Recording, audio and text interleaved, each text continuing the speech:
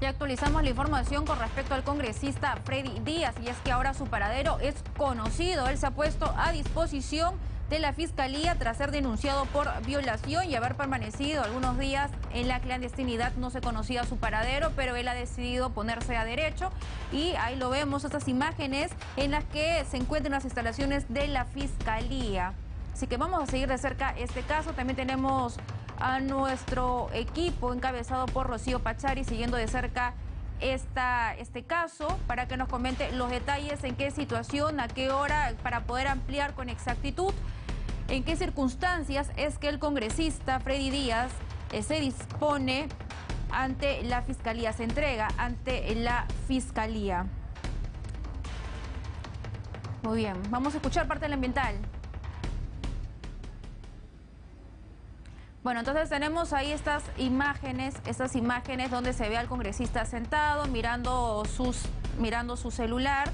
Ahí lo vemos, supongo, revisando o poniéndose tal vez en contacto con algún abogado que vaya a ver este caso. Hay que recordar que la Defensoría del Pueblo había solicitado al Ministerio Público que pida al Poder Judicial la detención preliminar del congresista Freddy Díaz Monago, luego de que fuera denunciado por violación sexual. Este hecho se habría cometido en las instalaciones del Congreso de la República, según la víctima. Así es que vamos a ver cómo es que se ven caminando esta, este proceso luego de la entrega del congresista Freddy Díaz de Alianza para el Progreso, pero en tanto en el Congreso de la República, pues está hablando de que este caso debe ser visto inmediatamente en ética y otros están hablando de su desafuero. Vamos a enlazarnos con nuestra compañera Rocío Pachari.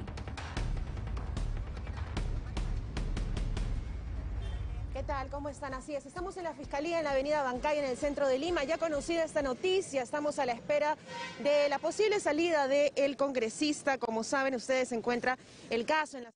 Fiscalía Suprema en lo penal, que sería el piso 10 de la sede principal de la Fiscalía aquí en la avenida Abancay. Hace algunos minutos habría llegado eh, el congresista, según nos han confirmado eh, personal de seguridad, y esto habría sido ante el temor de una orden de detención en su contra tras esta denuncia de eh, presunta violación sexual. Él no acudió el fin de semana a su declaración y lo estaría haciendo en estos momentos. Sobre imágenes te contamos sobre eh, esta foto y este video. Él está con un terno oscuro y una corbata azul en el interior de eh, la Fiscalía.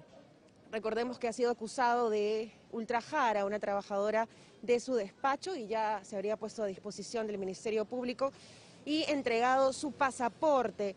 El parlamentario, eh, según información de las redes sociales, ha llegado a la Fiscalía acompañado de su abogada, la doctora Katy eh, Cachay Carla. Entonces, esta es la información que tenemos, ya todos los medios se ubican esperando la salida del congresista, además de sus descargos sobre esta fuerte acusación que además ha hecho que algunos parlamentarios, en lugar de eh, respaldar a la trabajadora, pues hayan justificado de cierta forma en que eh, el ambiente haya sido propicio, entre comillas, para que se produzca este delito de violación sexual. Vamos a esperar entonces aquí, pero ya podemos confirmar que él ha llegado hace al menos 15 minutos, pasadas las 10 de la mañana, y eh, vamos a esperar la salida. Él no tiene una orden hasta el momento, pero se le pedía que se ponga a disposición del Ministerio Público y que se aceleren estas investigaciones ya se ha pronunciado su bancada también.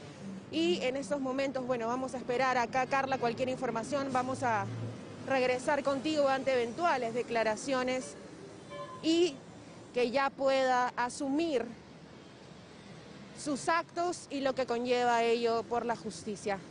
Información en vivo entonces desde la avenida Bancay, la Fiscalía de la Nación. Regresamos contigo, Estudios Centrales. Muy bien, Rocío, muchísimas gracias por este despacho y nos vamos a mantener al tanto ante la salida del congresista, ¿no? Y sobre todo, a ver qué medidas se toman con respecto a esta denuncia que sin duda es grave. Es momento de irnos a una pausa, pero usted no se mueva porque ya regresamos con